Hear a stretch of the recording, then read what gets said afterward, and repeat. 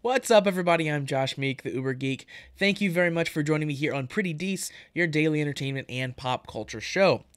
Uh, so just yesterday, we got a trailer for a movie that you know I'm anticipating pretty heavily, and that movie is Ready Player One. Now we'd seen a teaser for Ready Player One thus far. We'd seen a poster. We knew a little bit about the film.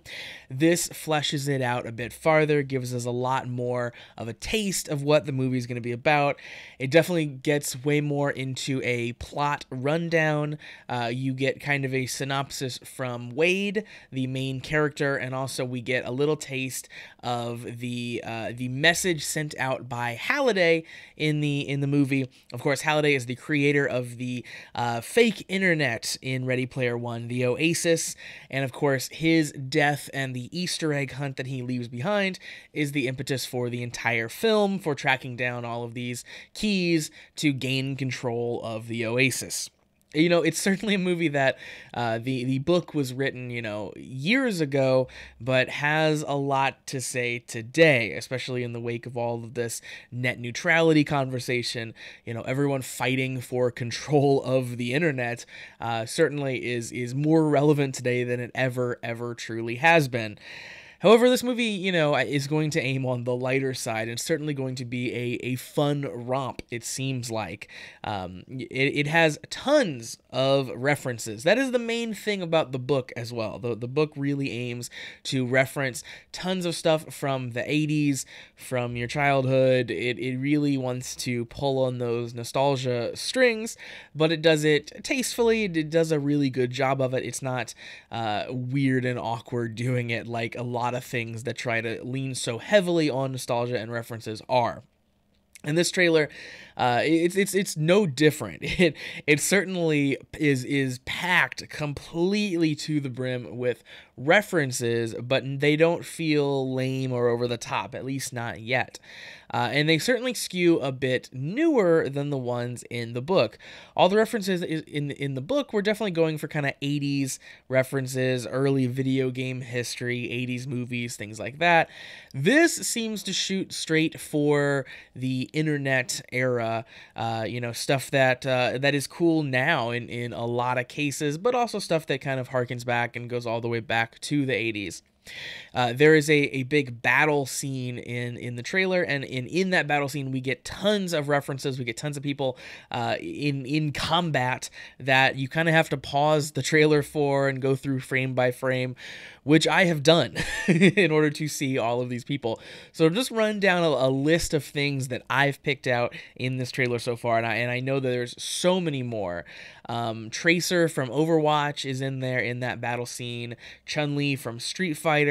Uh, Mobile Suit Gundam. In fact, RX 782, the original Gundam, is is in this trailer. Iron Giant, uh, Battletoads are, are in it for just a frame or two. We we get to see Chucky, the the evil doll Chucky, fly across the screen and and just you know completely obliterate somebody. Uh, earlier in the trailer, outside of the battle scenes, we we see uh, Deadpool, of course, walking in a club.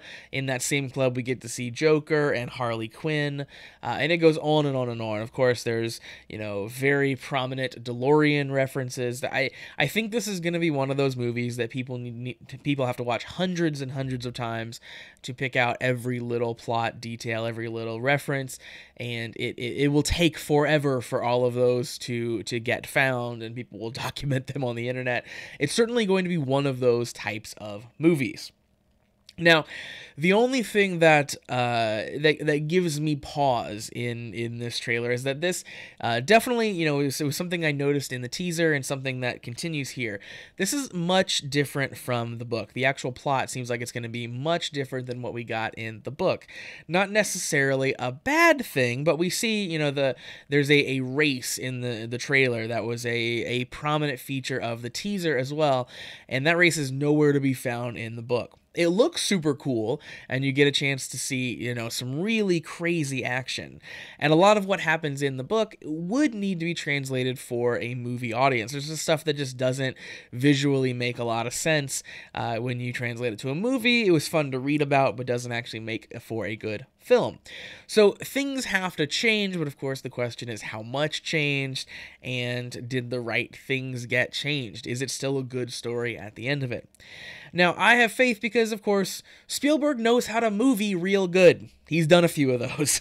so, you know, uh, as the as the uh, producer, kind of the man who's who's who's directing and sort of guiding this ship, uh, I, I think that I think that he knows how to put together a good film and knows what's correct for film versus a book. And of course, the script is being co-written by Ernest Cline, who is the author of Ready Player One. So uh, he he, if anyone, would know exactly what his book is trying to do, and would I think know how to translate that into film. So so far, I am I'm still really excited about this movie. I'm excited to to get in there and watch it multiple times just to try to catch all of these references and stuff. And the story still seems really really cool. It seems like they're really making some interesting decisions as they uh, as they create this movie. So I'm I'm very excited. So that's going to do it for Pretty Dece for today. Thank you very much for joining me. Make sure that you like Pretty Dece on Facebook, facebook.com slash Pretty Show. Of course, follow me on Twitter at Pretty Dece Show and visit prettydeceshow.com. I'll be back tomorrow as always. Until then, hit that subscribe button on whatever platform you are watching or listening on so you never miss that content when it drops.